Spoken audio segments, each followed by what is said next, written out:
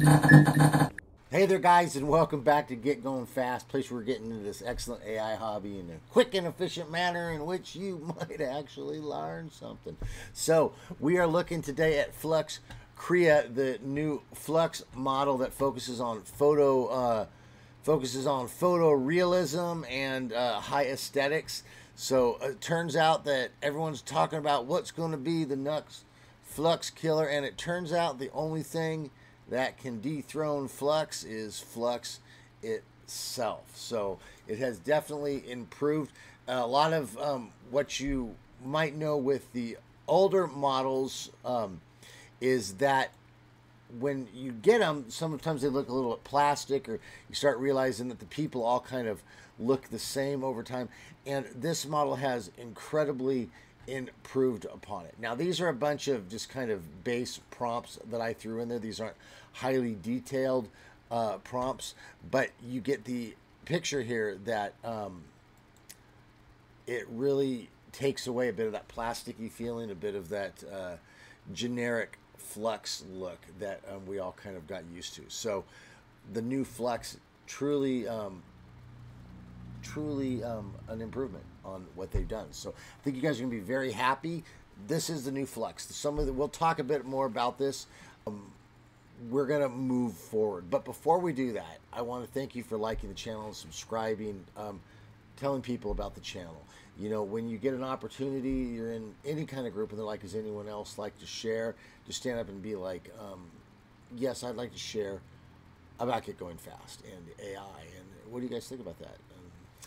Uh, and then show them like some cool photo of a cat that you generated. And I appreciate you doing that. That's very good of you. It helps to spread the community and gets people involved in what we're doing. Um, people really think that that's cool and very normal thing to do. So thank you for doing that. All right, well, we're going to move on with Flux Krea. Like I said, the new Flux model, and uh, I'm going to show you how to get this uh, downloaded. Okay, where to get the workflow. Really easy, guys, and uh, we're going to do it now. So let's get to the doing. Yo.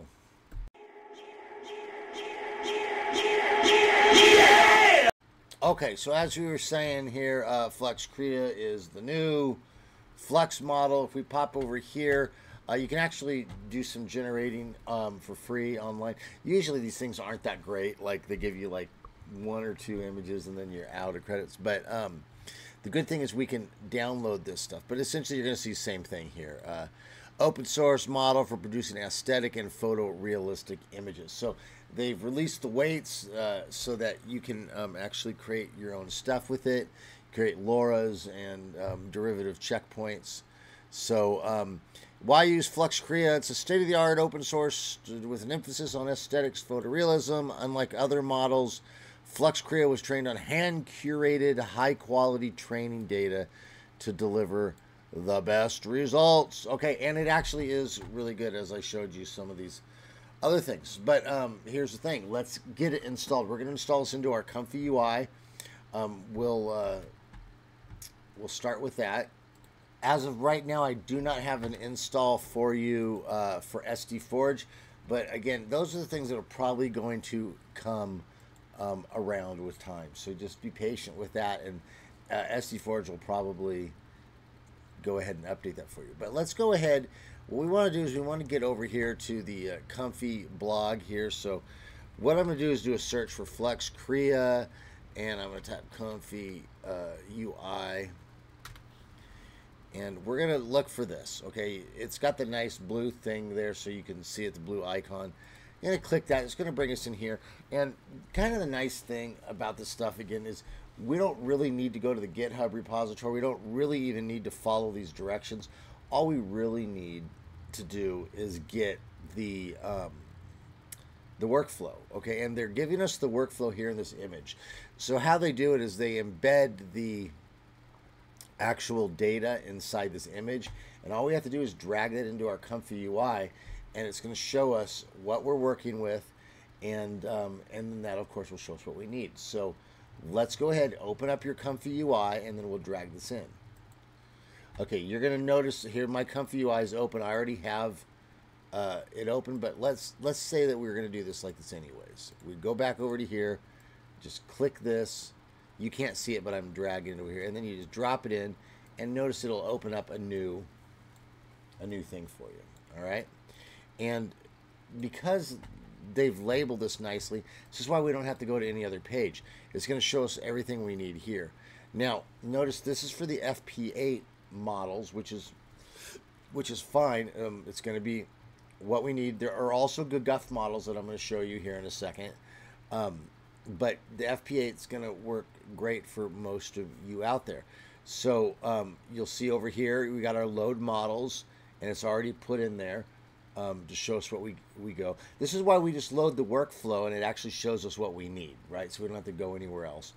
If I clicked run and I didn't have these models, these would all turn red, and then I could be like, oh, I could go through each one of them. But again, all we got to do is just click on this, okay?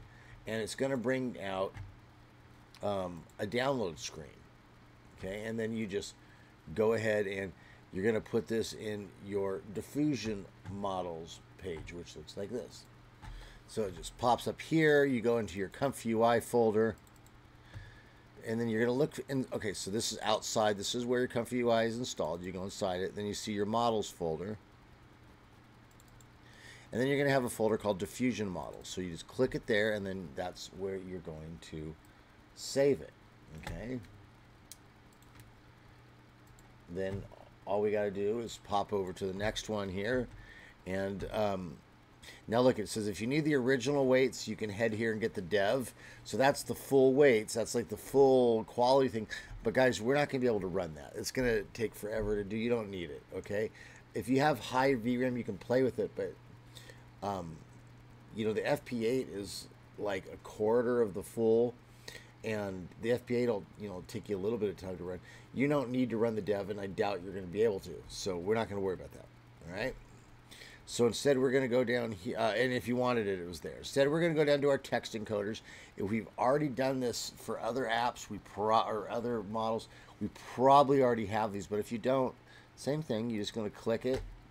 Okay, it's going to pop up to a place. Now here it says if uh, it pops us over to Hugging Face, so you need to have an account.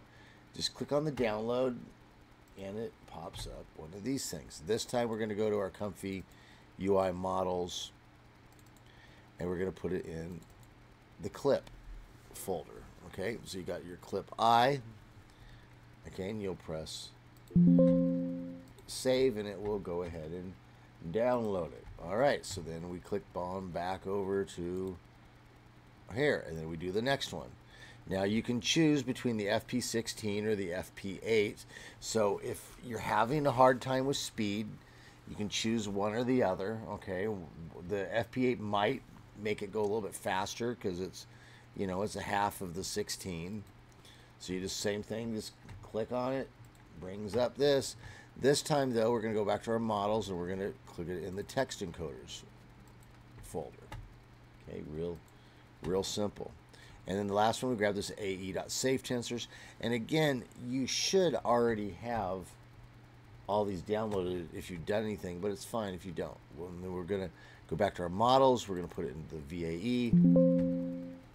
And we're going to go ahead and save it. Now, when you go over here, you'll see this little image here.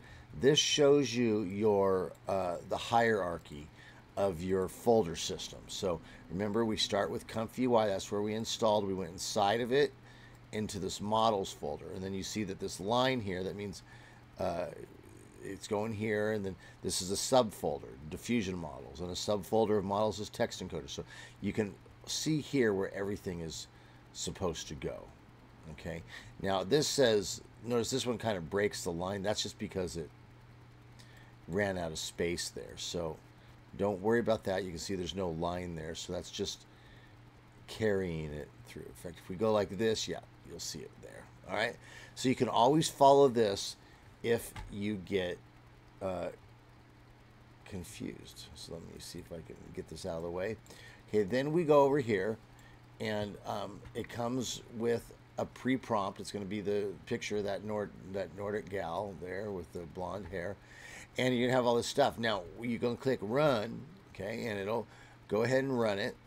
But um, sometimes these things don't show up, okay. Uh, sometimes like because it it assumes a certain position in the file structure. And if your file structure is a little bit different, sometimes you'll have the model, but it won't show up. So all you got to do is click on it and re-choose it. But what we'll do first is we reload, get the new models in there. You know, so we refresh it after download. Then you can click on here and you can go down and find the one that you need. Okay, and everything would great. Notice your width 1024 by 1024 starts at steps of 20 so if you want to get into high quality stuff you go go to steps 30 40 50 takes longer of course but a good place to start is steps 20 that's a good that's a good starting area okay? Um, notice the config is at 1 flux always runs at that cfg of 1 all right? And then now it's got a seed here, so it's going to be getting the same thing each time. You probably want to set this to random.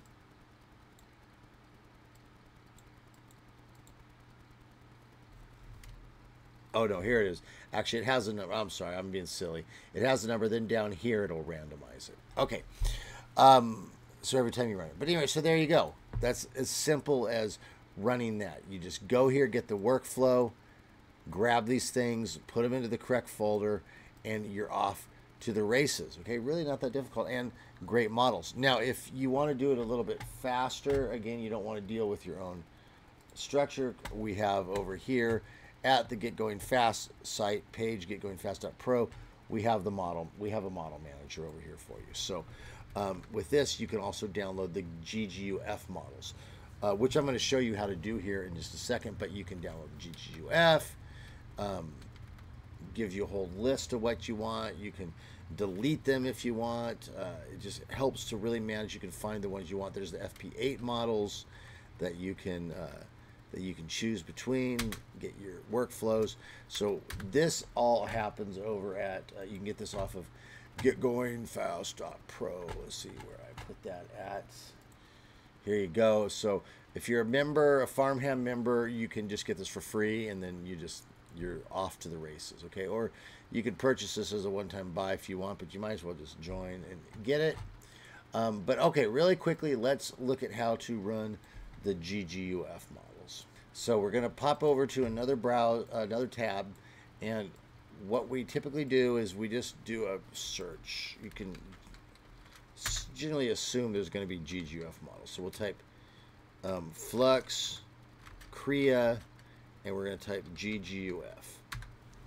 And usually they'll pop up a few different options for us. Okay, Flux Krea GGUF. Okay, I'm not seeing anything here that we would never. Oh, here's one from Invoke. We could try that. Um, you can also type Hugging Face.